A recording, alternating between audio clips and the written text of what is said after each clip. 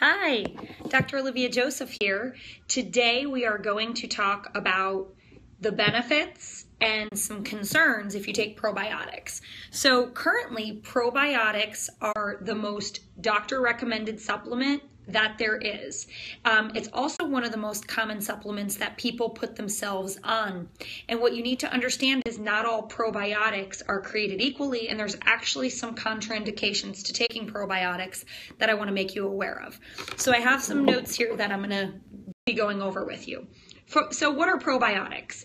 They're good bacteria and in theory, if you have enough good bacteria, it'll keep the bad bacteria in check. Now, that's a theory, and I'm going to explain to you why. Now, before we go any further, understand I recommend probiotics all day long to my patients. And I also recommend probiotics at all ages. I mean, I will give probiotics to babies when indicated. Now, when are they indicated? So, the one thing I want you to understand is that you're not going to get enough good bacteria in your gut by eating yogurt Yogurt typically contains at most about 100 million bacteria.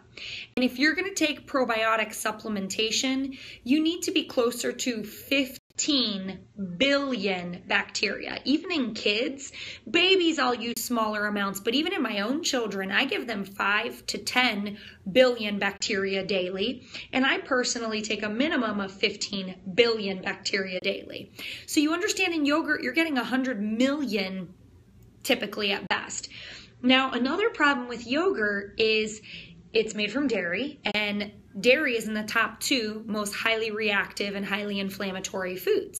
So if you have a dairy sensitivity and you're trying to eat yogurt to get probiotics, probably not the best option. Now they do make yogurt from coconut milk, almond milk, and even soy milk, but again, yogurt is not your best source of probiotics as you as you can tell my other biggest qualm or problem with yogurt is virtually all yogurt is sweetened with sugar which is bad for your good bacteria in your gut.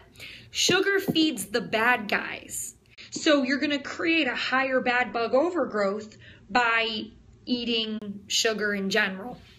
So, before you get too upset, let's talk about ways to really build up the good bacteria so the bad bacteria can stay in check. So, taking a probiotic.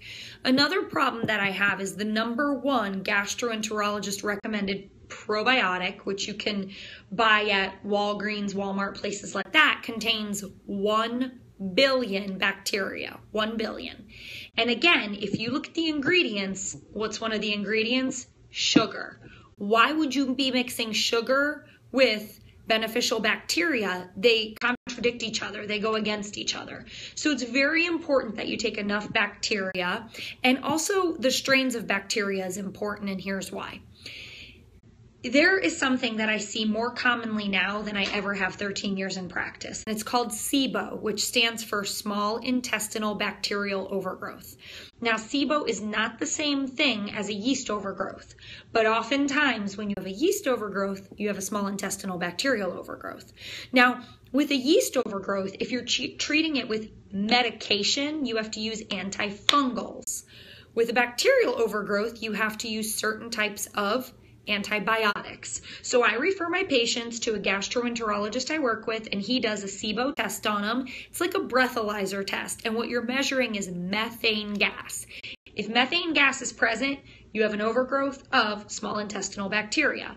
And if you have an overgrowth of small intestinal bacteria, you have to avoid any probiotics containing acidophilus which is the number one strain of bacteria you find in probiotics.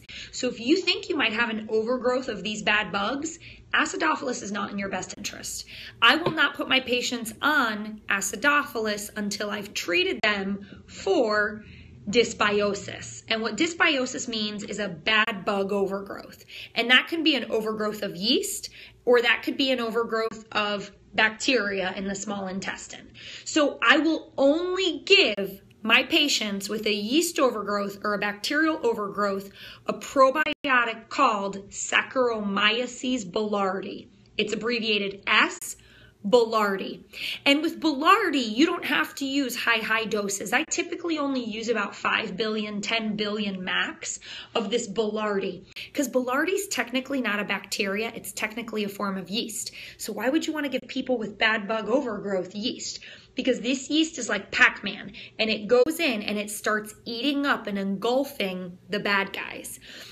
But what I'm doing with my patients that I know have an overgrowth of small intestinal bacteria or yeast is I'm putting them on natural antifungals and natural antimicrobial, antibacterial, and antiparasitic agents such as berberine, oil of oregano, thyme, olive leaf extract. I'm using these antifungals to kill the bad bugs that are in the gut. When I'm doing that, I'm giving them this Boulardii bacteria to eat up the die off that occurs. And die off is exactly what it sounds like. The bad guys die, and when they die, they release a toxin, and that toxin is air, it's gas. It can make you bloated, it can make you nauseous, it can create rashes on your skin that look like hives, it can cause sharpshooting intestinal pain. And that's not a reaction to anything other than it's these bad bacteria and yeast dying off in your small intestine. And when it dies off, if you're using this Boulardii bacteria, it's going to eat it up like Pac Man. And sometimes, if people are really uncomfortable, then I'll have them get some activated charcoal to reduce the uncomfortable bloating and some of the symptoms that they're experiencing. So, what I want you to understand is before you just start popping probiotics because you hear of the good bacteria, is be careful you're not taking a probiotic that has sugar in it. And if you think you're getting enough beneficial bacteria from yogurt, you're not getting that much. Plus yogurt has sugar in it. So combining sugar and probiotics is is not the best idea. They don't go together. Sugar's going to feed the bad guys while this good bacteria is not going to get a chance to build up if you have a high amount of bacterial or yeast overgrowth within your small intestine. So if you suspect any of this, get a test. How you test for SIBO is a breath test, um, and you can call around many gastroenterologists do this test. I work with a gastroenterologist who does this testing on my patients. There's a lot of different ways to test for yeast overgrowth. What I do is I look for antigens in the bloodstream. So I do a Candida albicans antigen screening when I do food allergy testing on my patients.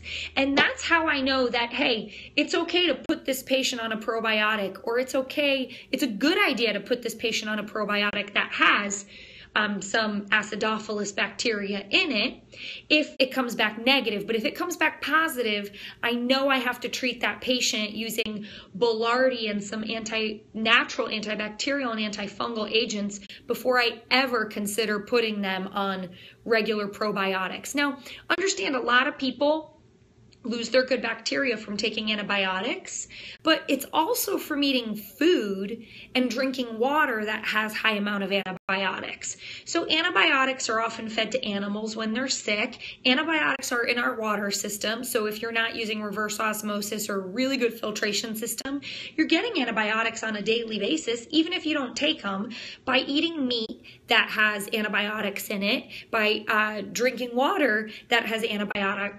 antibiotics in it as well. So you see why these overgrowths of these bad bacteria and yeast are so common. It's not just from taking antibiotics, it's from having food allergies, food sensitivities, but drinking water or eating animals that have been treated with antibiotics disrupt the flora as well. A lot of medications disrupt flora as well, such as oral contraceptives and birth control, and that's probably the most common medication I see women taking today is some type of hormone therapy, and oral contraceptives do disrupt the good bacteria and promote a bad bacterial overgrowth in your gut. Without a healthy gut, you cannot be healthy because your immune cells live in your gut.